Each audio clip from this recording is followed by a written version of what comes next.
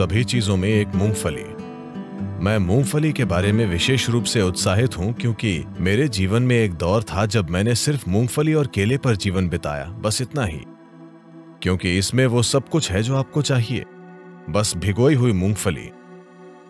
बस इतनी मूंगफली, रात भर भिगोकर और एक केला, मेरा पूरा दिन निकल जाता था और पूरी तरह से सक्रिय ज़्यादातर लोगों की कल्पना से भी ज़्यादा सक्रिय। इसमें आपका जीवन चलाने के लिए सब कुछ है।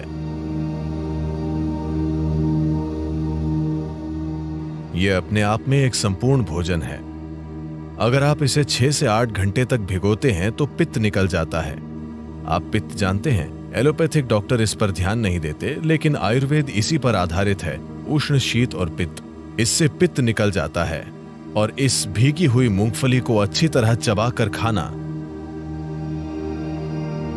बस ये पक्का करें कि यह जेनेटिक इंजीनियरिंग की हुई बकवास नहीं है। एक चीज़ यह है कि शायद इसमें जेनेटिक बदलाव किए गए हों। अब वो ये नहीं लिखते कि किसमें बदलाव किया गया है और किसमें नहीं। एक और चीज़ ये है कि आप इस हद तक फर्टिलाइज़र और कीटनाशक डाल रहे हैं कि मूंगफली अब मूंगफली नहीं रही। बस ये पक्का करें कि वो ऑर्गेनिक मूंगफली हो।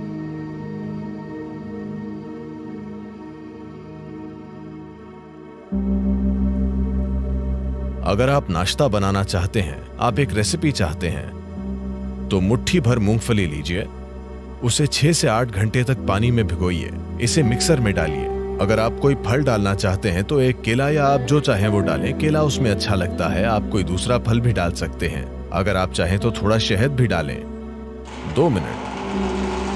शानदार नाश्ता तैयार। इसे बनाने में केवल दो मिनट लगते हैं। अगर आप इसे थोड़ा पतला चाहते हैं तो इसमें थोड़ा और पानी डालिए और बस इसे पी लीजिए। आप इसे दलिया जैसा चाहते हैं तो इसे काढ़ा बनाइए और इसे खा लीजिए। आप देखेंगे कि ये आपको आसानी से चार से पाँच घंटे तक ऊर्जा देगा। और ये बहुत पौष्टिक है।